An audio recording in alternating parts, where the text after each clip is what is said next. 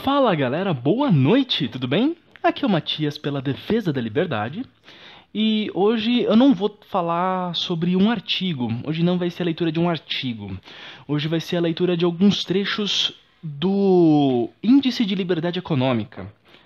Para quem não sabe, esse é um estudo que é feito todo ano pela Fundação Heritage, a Heritage Foundation, que simplesmente elenca os países de acordo com o grau de liberdade na economia. Então ele vai falar o quão livre um país é e vai classificar esses, esses países de, de acordo com o índice. Esse índice ele varia de 0 até 100 e ele faz vários comentários também. Ele fala sobre cada país, ele faz algumas correlações gráficas e tudo mais. Aqui eu vou sintetizar algumas coisas e vou ler alguns trechos para vocês. É, na minha humilde opinião, se você é liberal e você não conhece esse índice, é, se você não, nunca leu isso, eu sugiro que você, eu sugiro que você faça. É uma experiência muito enriquecedora e é muito traz bastante repertório na hora que você vai é, conversar com alguém você realmente acaba vendo a, do, realmente a discrepância que tem em alguns países e você acaba tendo uma um feeling um pouco mais quantitativo de o quão livre um país é, você não fica tanto no achismo. Então, como vocês devem estar vendo aí, tem o ranking aí na tela do vídeo. E para quem não está vendo, para quem está só ouvindo, o país mais livre de todos é Hong Kong.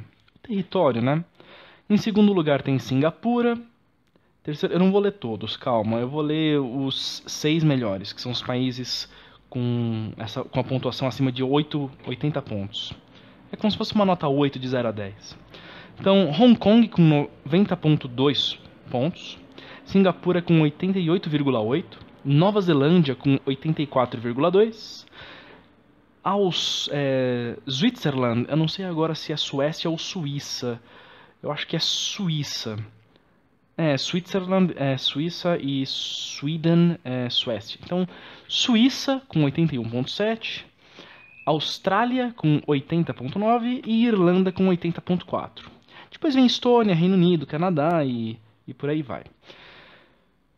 Lá na outra ponta do índice, os são 180 países classificados, 180 na outra ponta temos em último lugar com 5,8 pontos Coreia do Norte. Na posição seguinte, à frente, né? Venezuela com 25,2 pontos. Depois Cuba com 31,9 pontos. São os três lanternas, são os três países socialistas. Ó, oh, que surpresa! O Brasil. Cadê o Brasil? Onde vocês acham que está o Brasil. O Brasil está na posição de 153, com 51,4 pontos. Uma posição nada, nada, nada orgulhosa. A gente está entre Uzbequistão e Afeganistão. Assim, perto da gente não tem nenhum país que seja um bom exemplo. Assim, um pouco mais para frente tem a Argentina. E para vocês verem assim o quão, o quão ruim o Brasil está classificado, é, ele está no ranking 153. É, aí pela escala vocês devem estar tá conseguindo ver, é, ele está no grupo dos países predominantemente não livres. Se ele perder alguns pontinhos, ele vai para o ranking dos países reprimidos. E aí ele vai fazer parte do mesmo grupo de Cuba, Venezuela e Coreia do Norte. Então, esse é o grau de intervencionismo que tem no Brasil. Então, gente, não existe livre mercado no Brasil. E não, não, não tem como existir livre mercado no Brasil e esse índice é um reflexo dessa afirmação. Se a gente, ó, inclusive tem sete países, sete, um, dois, três, quatro, cinco, seis, tem sete países abaixo de nós que não são reprimidos. Então, assim, a gente está numa posição muito desagradável, muito vergonhosa. Enquanto isso não mudar, ó, gente, esquece. O Brasil não vai para frente. Então, esses são, esse, esse é um panoramazinho um pouquinho mais geral. Vocês podem dar uma fuçada aí daqui a pouco. Eu vou deixar o link do, do ranking é, na descrição do vídeo. Vocês podem dar uma olhada. Não vou passar o ranking olhando país por país. Eu vou agora direto para o texto, que é a parte mais interessante. Então, eu peguei alguns pedaços do, dos primeiros capítulos, que é onde ele fala de uma forma mais geral. Depois, quem sabe, posso fazer um capítulo dedicado ao Brasil, algum outro país por aí, falar da Singapura, por exemplo, que é o país mais livre de todos. É, mas por enquanto eu vou. Tem esse apanhado de informações. Peguei trechos diferentes do índice. E eu vou ler eles para vocês é, porque é realmente, é uma, realmente uma leitura muito boa. Muito boa. Dá, dá, uma, dá uma robustez para o que a gente sabe. Então, eu vou começar aqui. Índice de Liberdade Econômica 2018. A liberdade econômica é um elemento crítico de bem-estar humano e um eixo vital em sustentar uma sociedade civil. Como o Índice de Liberdade Econômica cataloga, o melhor caminho para a prosperidade é o caminho da liberdade. Deixar os indivíduos decidirem por si mesmos como melhor alcançar seus sonhos e aspirações e as de suas famílias. Agora, em sua 24ª edição, o índice analisa a evolução da política econômica em 186 países. Países são classificados e ranqueados em 12 medidas de liberdade econômica, que avaliam o Estado de Direito, tamanho do governo, eficiência regulatória e abertura dos mercados.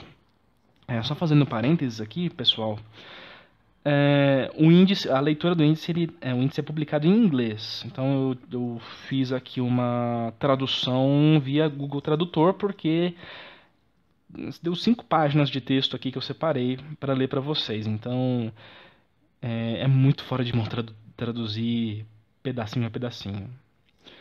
É, vou continuar aqui. O perfil de liberdade econômica global. A liberdade econômica sofreu uma reviravolta na maioria das economias mundiais. A pontuação da liberdade econômica global média de 61,1 pontos é a maior já registrada nos últimos 24 anos de história do índice. A liberdade econômica melhorou globalmente pelo sexto ano consecutivo, com a pontuação média subindo até dois décimos de ponto a partir do ano anterior. A média mundial é agora mais de 3 pontos a mais do que na primeira edição do índice em 1995. Das 180 economias classificadas no índice de 2018, as pontuações de 102 economias melhoraram. As pontuações de 75 pioraram e as pontuações de 3 ficaram inalteradas. Seis economias se mantiveram. É, seis economias. Aqui o do Google Tradutor é me ferrando. Seis economias mantiveram pontuações de liberdade econômica muito altas, de 80 pontos ou mais, colocando-os no grupo de economicamente livre. Os próximos 28 países foram classificados como economias majoritariamente livres, registrando pontuações entre 70 e 80 pontos. 62 países ganharam pontuações que coloca-los na categoria moderadamente livre, com pontuações de 60 a 70 pontos.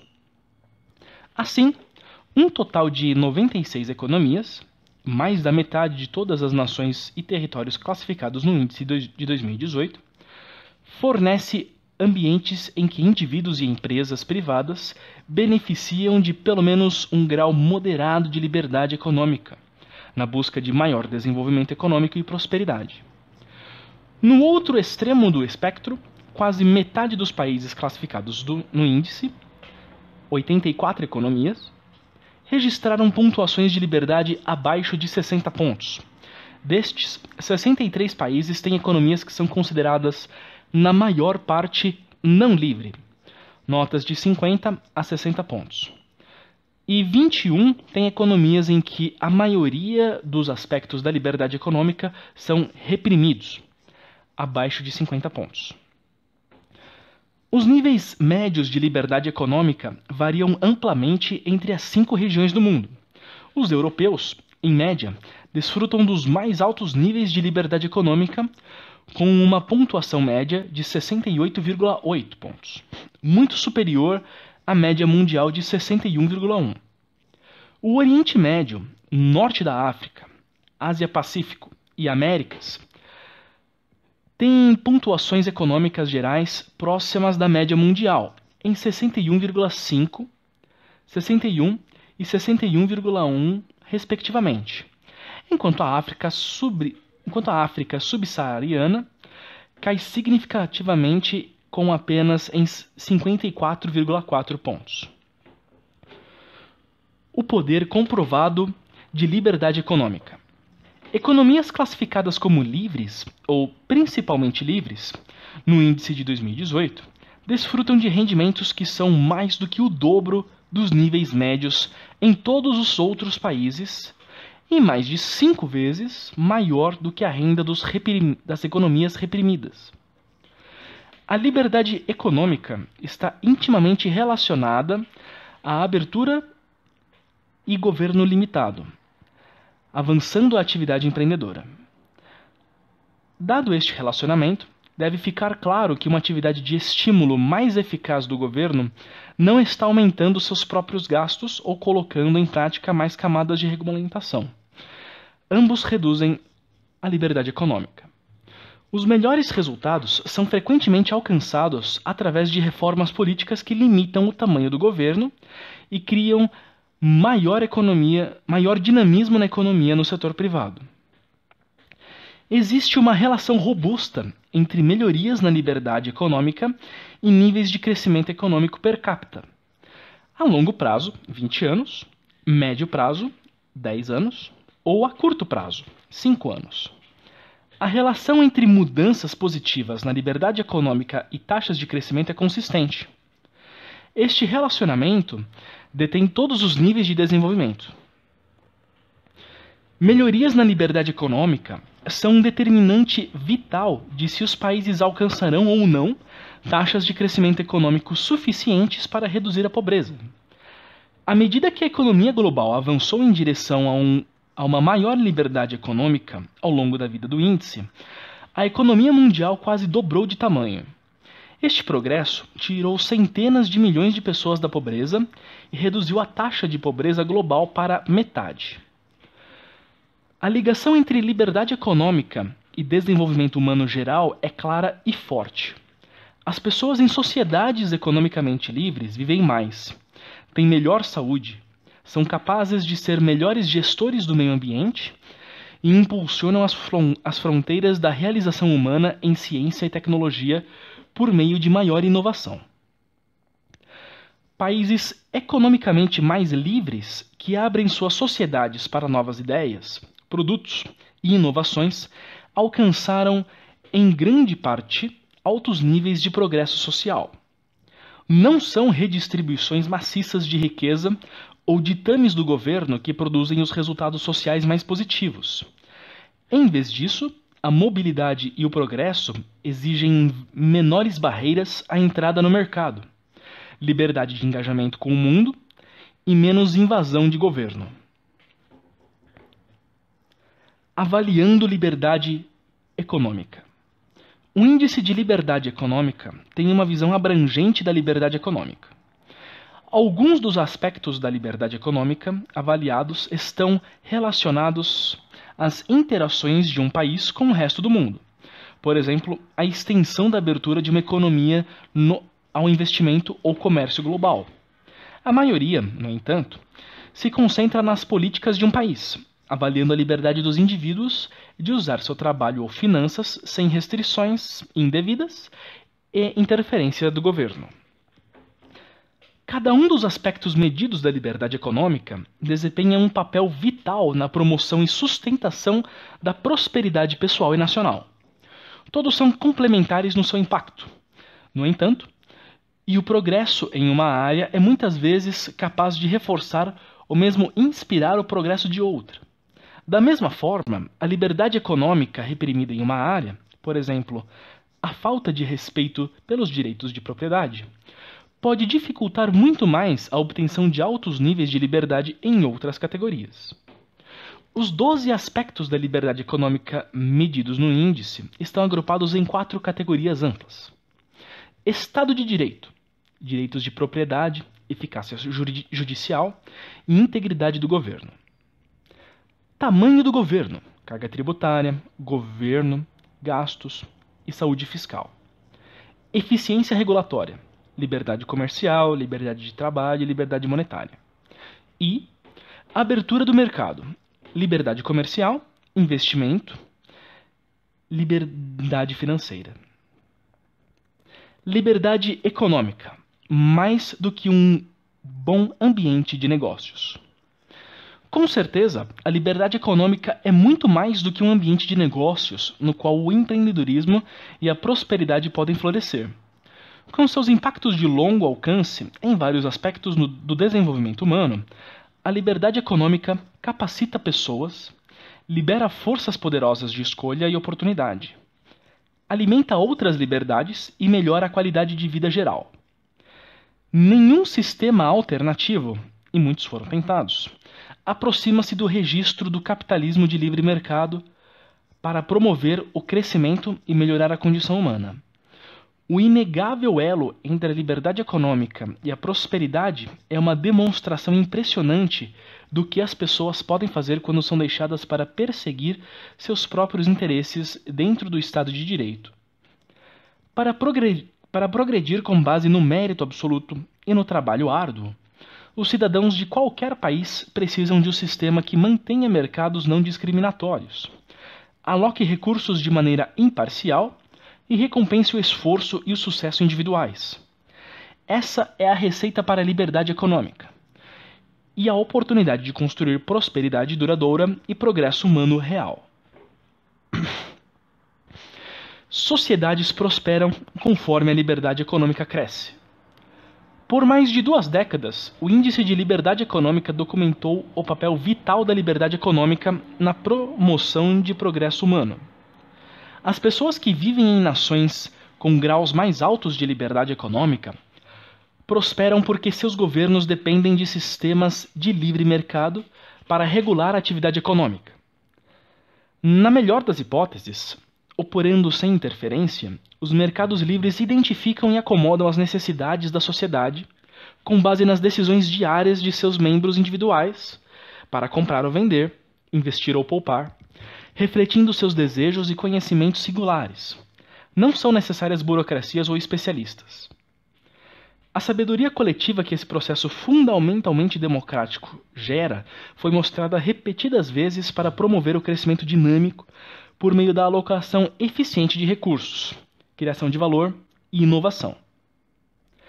Em um mundo diverso, que, dependendo de onde você olha, pode ser superregulado ou subdesenvolvido, ou ambos, a liberdade econômica pode ser experimentada em uma variedade de ambientes. De um mercado informal sem qualquer forma de governança a uma economia avançada com cuidadosamente estipulado impostos, regras para proteger a integridade, promover a concorrência e limitar o poder dentro de um mercado de qualquer participante individual, incluindo o próprio governo. O índice procura fornecer uma visão abrangente da liberdade econômica, com dados que iluminem aspectos variados do Estado de Direito, o tamanho e o escopo do governo, a eficiência das regulamentações e a abertura da economia ao comércio global. O imperativo de promover a liberdade econômica é mais forte do que nunca. Nosso mundo experimentou, está experimentando, um progresso impressionante. Milhões de pessoas do mundo, no entanto, ainda vivem na pobreza. E milhões em países ricos e pobres clamam por mudanças. O capitalismo de livre mercado, construído sobre os princípios da liberdade econômica, pode fornecer essa mudança ele empurra o velho para abrir caminho para o novo, para que o progresso real e verdadeiro possa acontecer. Isso leva à inovação em todos os domínios: melhores empregos, melhores bens e serviços e melhores sociedades. A economia global, somente moderadamente livre. No último ano, as forças da economia liberal em todo o mundo têm sido recipiente está aumentando. Na verdade, liberdade econômica tomou uma reviravolta na maioria das economias. Ainda assim, o mundo como um todo permanece apenas moderadamente livre, de acordo com o índice de 2018. Os resultados do índice de 2018 ainda revelam novamente as ligações fortemente positivas entre liberdade econômica e várias dimensões de desenvolvimento humano e socioeconômico. Os intrincados, multidimensional e não lineares links destacam por que a liberdade econômica é incomparável tanto em encontrar soluções para humanos e na promoção do bem-estar geral. Nenhuma outra alternativa que tenha sido tentada chega perto do capitalismo de livre mercado, com base em liberdade econômica, em termos de proporcionar prosperidade baseada e fazendo um maior número de soluções inovadoras disponíveis para, ma para mais pessoas de forma mais eficaz.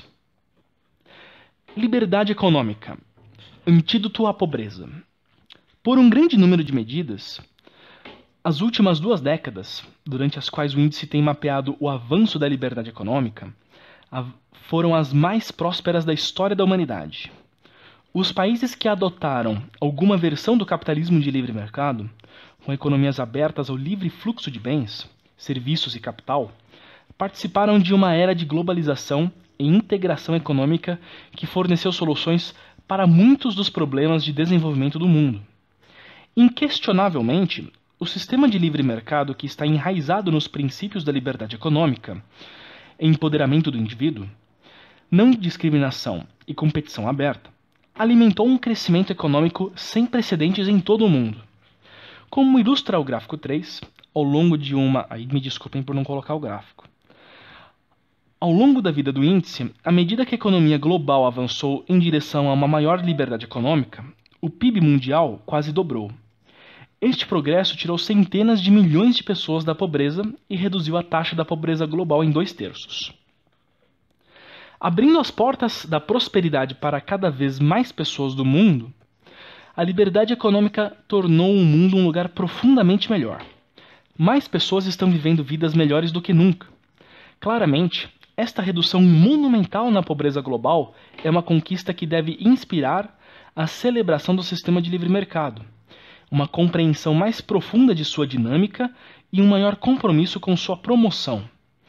O principal impulsionador da redução da pobreza é o crescimento econômico dinâmico e resiliente que acompanha a melhoria da liberdade econômica.